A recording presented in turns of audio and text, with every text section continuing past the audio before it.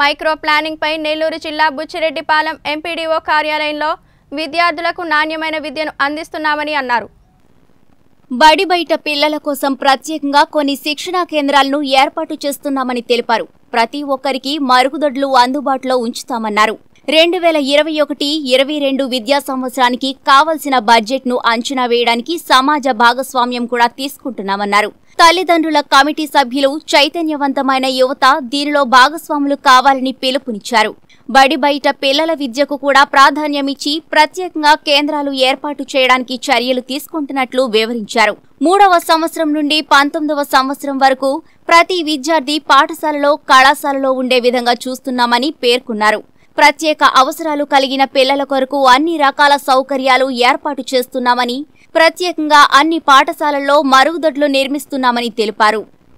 ఇప్పుడు మనం half day school నిర్వహిస్తున్నాం కాబట్టి మధ్యాహ్నం సమయంలో పిల్లల్ని తల్లిదండ్రులంతా తగు జాగ్రత్తలు తీసుకొని పిల్లల్ని ఎక్కడ బయటికి పంపించకుండా ఇంట్లోనే వాళ్ళు ఉండేటట్టుగా ఇంట్లోనే ఆడుకునేటట్టుగా లేదా చదువుకునే విధంగా ఇతర కార్యక్రమాలన్నీ ఇంట్లోనే చేసుకునే వైపుగా ఉండి కరోనా నుంచి పిల్లల్ని కొంచెం జాగ్రత్తలు తీసుకోవాల్సిందిగా మండల విద్యాశాఖ పక్షాన తల్లిదండ్రులందరూ కోరుతున్నాను.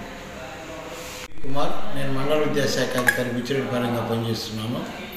పాఠశాలలో మౌలిక వసతులు పెంపులో భాగంగా ఈరోజు పాఠశాల ప్రధానోపాధ్యాయులందరికీ పాఠశాల అభివృద్ధి ప్రణాళికలు మరియు ఆవాస ప్రాంత ప్రణాళికలు సిద్ధం చేసి వాటిని తయారు చేసేదానికి ఒకరోజు వర్క్షాప్ నిర్వహించడం జరిగింది.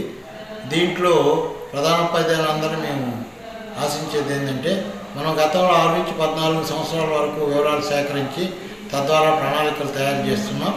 అయితే ప్రభుత్వం మరింత విద్యకి సంబంధించి మరింత విస్తృతం చేయడంతో ఈ సంవత్సరం మూడు నుంచి ప పద్దెనిమిది సంవత్సరాల వరకు ఉన్నటువంటి పిల్లల యొక్క సమాచారాన్ని సేకరించి తదనుగుణంగా వారికి కావాల్సిన మౌలిక సదుపాయాలు మరియు ఇతర సౌకర్యాలకు సంబంధించి ప్రణాళికలు తయారు చేస్తున్నాం. ఈ ప్రణాళికలు అన్నింటిలో కూడా ప్రధానోపాధ్యాయులు ఖచ్చితమైనటువంటి సమాచారాన్ని ఇచ్చి మంచి ప్రణాళిక తయారు చేసి దానికి వీలుగా అందరూ సహకరించాలని కోరుతున్నాం.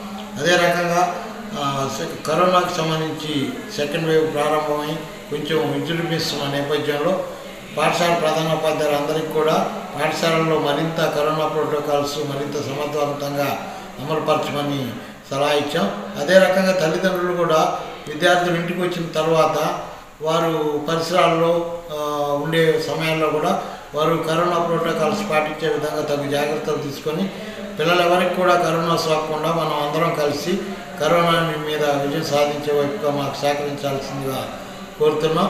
ఈ ప్రణాళికలన్నీ కూడా రేపు సోమవారం అనగా పన్నెండో తారీఖు కల్లా మేము తయారు చేసి జిల్లా విద్యాశాఖకి మేము ప్రణాళికలను పంపిస్తున్నాం. కాబట్టి ప్రణాళికలు వెంటనే అదే రకంగా ఖచ్చితమైనటువంటి సమాచారంతో అందరూ పంపాల్సిందిగా కోరుతున్నాం.